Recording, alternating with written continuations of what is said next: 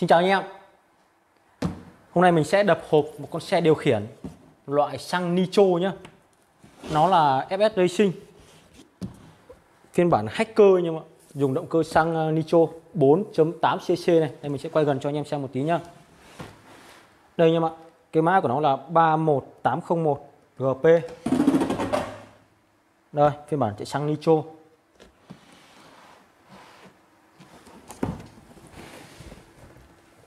Nó dùng động cơ xăng nitro 4.8cc. Đấy, tỷ lệ 1 trên 8 nhá. Nó có hai phiên bản là motor không chổi than và động cơ xăng. Cái EP này là motor không chổi than này. Còn là GP là động cơ xăng nitro. Rồi, mình sẽ khui hộp ra. Sau đó lắp các thứ vào để test cho anh em xem chơi nhá. Đây anh em ạ, toàn bộ của nó đây. Nó sẽ có bốn lốp xe cực kỳ to luôn. Rồi, cái size của nó anh em thấy không? Đường kính của nó gần 20 cm lận. Bốn lốp xe này. Cái này là hướng dẫn này và những bộ tốt của nó. Rồi. Đây là tay điều khiển này.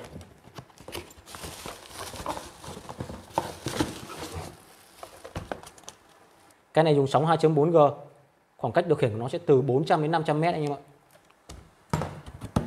đây là nhân vật chính này.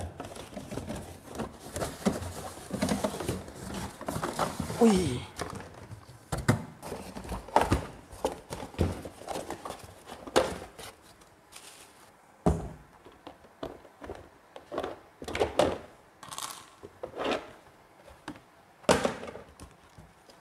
Siêu to luôn anh em ạ.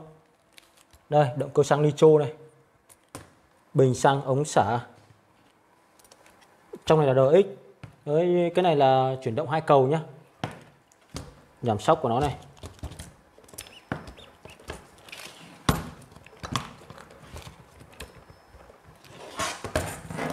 Cái phần ờ, khung dưới này bằng phun kim loại anh em ạ. Phun nhôm nhé nhôm CNC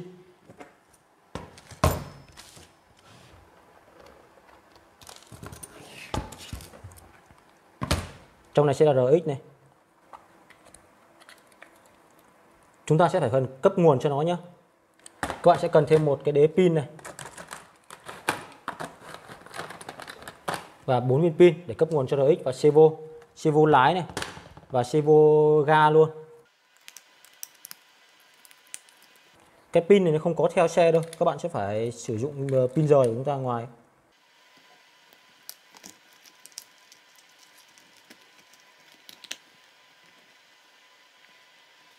Rồi, mình sẽ gắn lốp vào nhá, Sau đó đổ xăng và test thử luôn xem nào.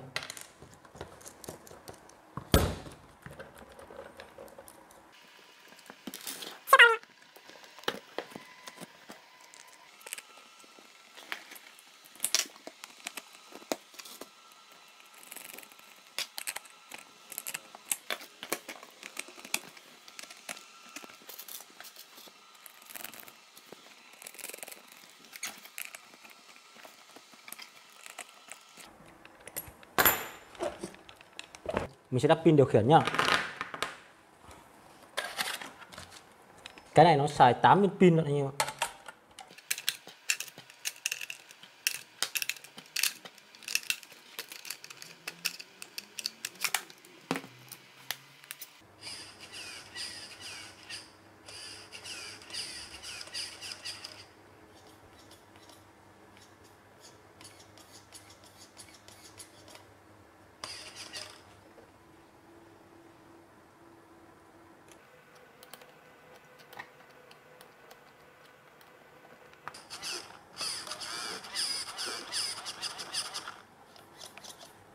Rồi, sau khi cân chỉnh, mình sẽ đổ xăng vào để thử nhá. Các bạn sẽ phải cần thêm cái que mồi buji này.